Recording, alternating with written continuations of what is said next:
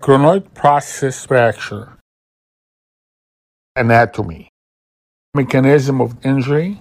Radiology. Classification. The coronoid process provides anterior buttress against posterior subluxation or displacement. The radial head prevents valgus instability. The coronoid process prevents varus instability. The coronoid process also provides attachment for the anterior bundle of the MCL and attachment to the anterior capsule. The anterior capsule attaches 6 mm distal to the tip of the coronoid. The anterior bundle of the medial collateral ligament attaches to the sublime tubercle 18 mm distal to the tip of the coronoid. You got to know the difference between insertion of the MCL and insertion of the brachialis as you can see here in this diagram. If the fracture of the coronoid process tip is small, the brachialis should insert distal to the tip of the coronoid process. Mechanism of injury. There are two types for the mechanism of injury. A posterolateral rotatory displacement that will give us the terrible triad and you will have a fracture radial head, fracture coronoid tip, in addition to dislocation of the elbow. And the other mechanism is varus and posteromedial rotatory displacement, which is associated with a fracture of the anteromedial coronoid process.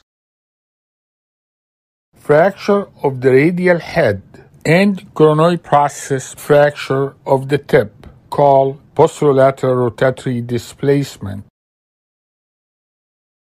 The LCL tears from the humerus. The MCL may not be ruptured. In posterior elbow dislocation and posterolateral instability, the lateral side fails first, followed by the medial side fails last. This valgus and supination can result in the terrible triad. You will have a fracture radial head, fracture coronoid tip, in addition to dislocation of the elbow. Patient with instability after elbow fracture dislocation always have a coronoid fracture and they can redislocate in a cast or after surgery.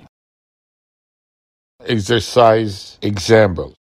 An elbow dislocation with type 2 coronoid fracture and non-reconstructible comminuted radial head fracture. So how are you going to treat that? You're going to repair the lateral collateral ligament. You're going to do radial head arthroplasty, and you're going to do ORIF of the coronoid. This is a terrible triad. Dislocation of the elbow, coronoid fracture, radial head fracture. We have to fix all these injuries. Address each injury to restore elbow stability. If you have an elbow dislocation and olecranon tip fracture and radial head fracture, the likely pattern of instability is valgus posterolateral rotatory instability. The anterior medial coronoid fracture, varus and posteromedial rotation, ruptured LCL from the humerus, varus force will cause medial facet fracture and this is the malignant fracture pattern. To recognize the posteromedial facet injury, look at the AP X-ray in addition to the lateral X-ray. In the lateral X-ray, you may miss it. Large medial coronoid fracture and elbow dislocation. There probably will be varus posteromedial rotatory instability it will affect the anteromedial facet of the coronoid. Radiology In fracture of the coronoid process, the X-ray is difficult to interpret the fracture may be mistaken for a radial head fracture. The structures overlap and we may miss the fracture. In the lateral view, you may find a chip of bone. AP radiograph will find a non-dislocated elbow with an anteromedial coronoid fracture.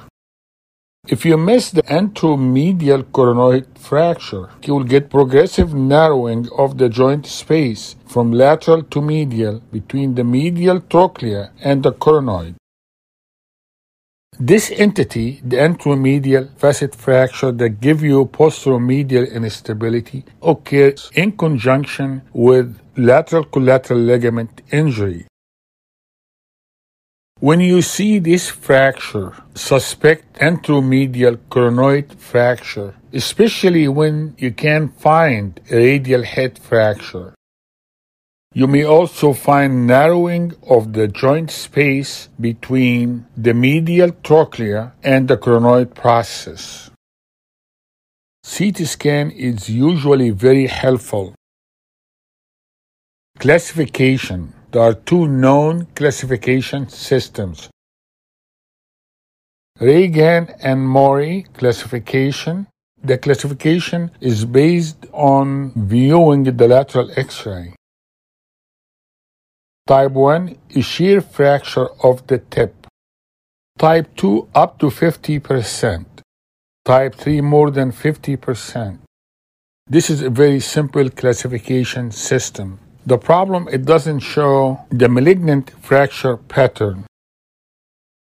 O'Driscoll classification is very helpful and it will show the anteromedial facet fracture which will create posteromedial instability.